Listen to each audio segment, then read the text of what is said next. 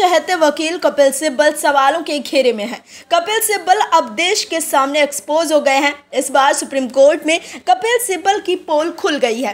कपिल सिब्बल और अभिषेक मनु सिंह भी ऐसे वकील हैं जो विपक्षी नेताओं और विपक्ष की सरकारों को बचाने में लगे रहते हैं। कपिल सिब्बल बात बात पर मोदी सरकार के खिलाफ सुप्रीम कोर्ट पहुँच जाते हैं। लेकिन इस बार कपिल सिब्बल कोर्ट में खड़े होकर कोलकाता कांड को लेकर ममता सरकार को बचा रहे हैं। लेकिन सुप्रीम कोर्ट ने कपिल सिब्बल से ऐसे सवाल कर दिया कि वो अपनी बगले झांकने लग गए।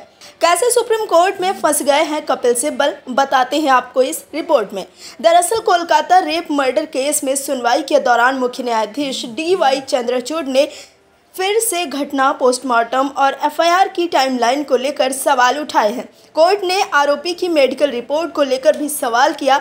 इस पर पश्चिम बंगाल सरकार की ओर से कोर्ट में पेश हुए एडवोकेट कपिल सिब्बल ने कहा कि report central bureau of investigation को सौंप दी गई है। वहीं सॉलिसिटर जनरल तुषार मेहता ने कहा कि ऐसी कोई रिपोर्ट नहीं मिली है। उन्होंने कहा कि सीबीआई ने घटना के पाँचवें दिन जाँच शुरू की और तब तक सब कुछ बदल दिया गया था।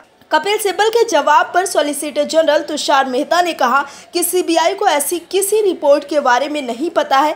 उन्होंने कहा कि सीबीआई ने घटना के पाँचवें दिन जाँच शुरू की और तब तक सब कुछ बदल दिया गया था।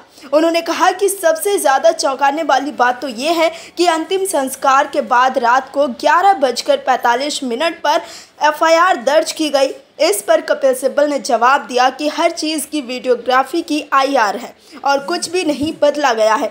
इस दौरान सीजेआई चंद्रचूड़ ने कहा कि सिब्बल एक चीज़ बहुत परेशान करने वाली है। सुबह दस बजकर दस मिनट पर मृत्यु की जनरल डायरी एंट्री कर दी गई थी। तो घटनास्थल की सुरक्षा और बरामदगी रात को साढ़े ग्यारह बजे क्यों हुई?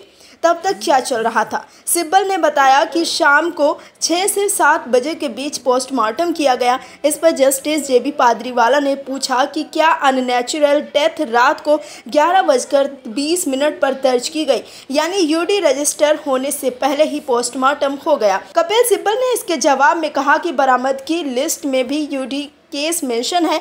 पोस्टमार्टम रिपोर्ट में भी और हर दस्तावेज़ में है और सब कुछ 11 बजे से पहले हो गया था। इस मामले पर कपिल सिब्बल घिर गए हैं। सुनवाई के दौरान सुप्रीम कोर्ट का माहौल बहुत गंभीर था। इस दौरान सीबीआई का प्रतिनिधित्व कर रहे सॉलिसिटर जनरल तुषार मेहता ने पश्चिम बंगाल सरकार की ओर से पेश हुए वकील कपिल सिब्बल पर भड़क गए। दरअसल, तुषार मेहता की एक दलील पर कपिल सिब्बल हंस पड़े।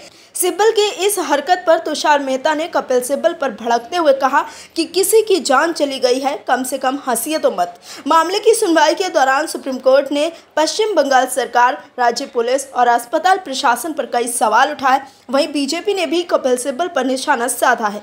बीजेपी नेता अमित मालवीय ने एक्स पर वीडियो शेयर किया है और लिखा है कि पूरी तरह असंवेदनशीलता प्रदर्शित की गई। ममता बनर्जी की तरह। पूर्व कांग्रेसी कपिल सिब्बल के नेतृत्व वाली पश्चिम बंगाल सरकार का प्रतिनिधित्व करने वाली कानूनी टीम ने युवा डॉक्टर की दो बार हत्या करने पर कोई पछतावा नहीं दिखाया। सॉलिसिटर जनरल तुषार मेहता को कपिल सिब्बल को याद दिलाना पड़ा कि हंसना नहीं।